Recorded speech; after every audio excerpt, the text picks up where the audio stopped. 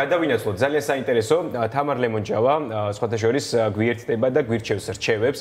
ძალიან ისეთ სხვათა შორის ძალიან ბევრი ადამიანი სახლში ატარებს ძალიან ბევრ დროს ჯერ კიდევ და სახლიდან გვიწევს მუშაობა. ძალიან მნიშვნელოვანია გავითვალისწინოთ ის რეკომენდაციები რა რეკომენდაციებსაც გვირჩევენ სპეციალისტები იმისთვის რომ თვალი უფრო კარგად ფუნქციონირებდეს ჩვენი და არ გადავღალოთ. ასე რომ მოდი ვნახოთ ეს ვიდეო და შემდეგ დაგიბრუნდებით პირდაპირ ეთერში მოგესალმებით, მივესალმებით ტელეკომპანია ფორმულას მაყურებელს დილამშვიდობისა. დღეს ვისაუბრებ ამ ბოლო დროის ყველაზე ხშირ ჩივილზე, რაც კი მესმის პაციენტების მხრიდან, ეს გახლავთ თვალის დაღლა.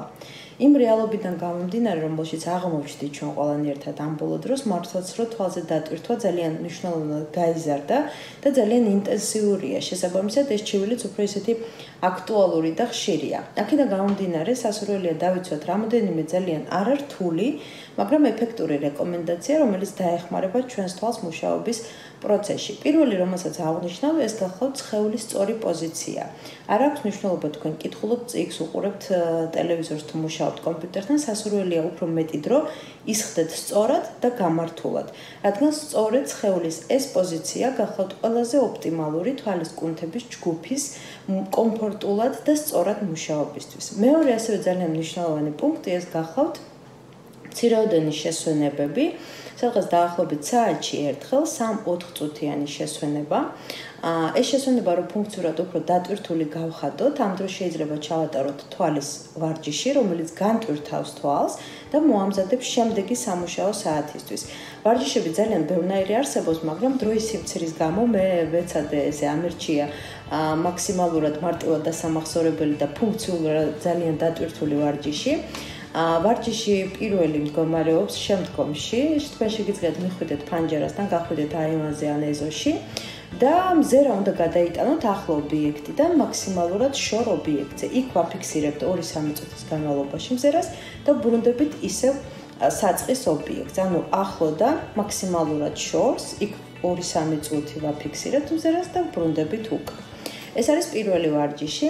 რაც შეეხება მეორე ვარჯიშს, ძალიან სასიამოვნოა, სადღაც დაახლოებით წუთ ნახევრის განმავლობაში შეგვიძლია ინტენსიური თვალის ხამხამი. ეს ვარჯიში არა მარტო განტვირთავს თვალს კუნც, არამედ ესე ბუნებრივი გზით მაქსიმალურად ატენიანებს თვალის ზედაპირს. ვარჯიშები შეგვიძლია შევანაცვლოთ ერთმანეთს, ხოლო მათი ინტენსივობა დამოკიდებულია თუ რამდენად დატვირთულია თქვენი სამუშაო დღე. თუ 5 საათი მუშაობს, შესაბამისად 5 ჯერ უნდა შევასრულოთ ეს ვარჯიში. მესამე პუნქტში მე გავაერთიანებ რამოდენიმე მნიშვნელოვან ფაქტორს.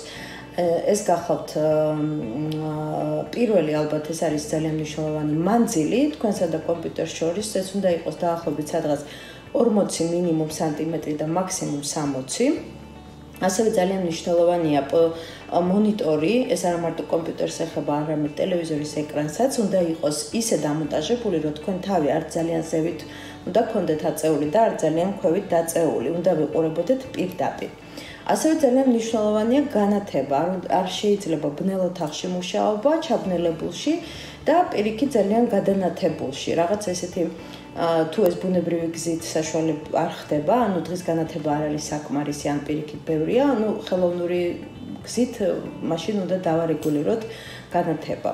და ასევე ძალიან მნიშვნელოვანი ეს არის ჟანგბადის ძალიან დიდი რაოდენობა, მე თუმეტეს საქართველოში ჩვენ განებევრებულები ვართ, ისეთი ფანტასტიკური კლიმატი გვაქვს, თქვი რომ სულ ღია უნდა იყოს ფანჯარა, იმიტომ რომ ეს მართლაც რო ძალიან მნიშვნელოვანი ფაქტორია. ეს არის რაღაც ის მინიმალური პაკეტი, რომელიც თითქოს ერთი შეხედვით არც ისე მნიშვნელოვნად შეიძლება მოგეჩვენოთ, მაგრამ დამიჯერეთ, რომ ეს ძალიან მნიშვნელოვანია ისეთი პატარა ორგანოსთვის, როგორიც არის თვალი. ამიტომ გაუფრთხილდით თვალს ის ყოველდღიურად და ყოველ წუთს წამს გჩუქნის ძალიან ბევრ და უამრავ სილამაზეს, რაც ხდება ჩვენს ირგვლივ. მიხედეთ მაქსიმალურად დაიცავით თუ შეძლებთ რა თქმა უნდა ეს რეკომენდაციები და გისურვებთ ხელობას.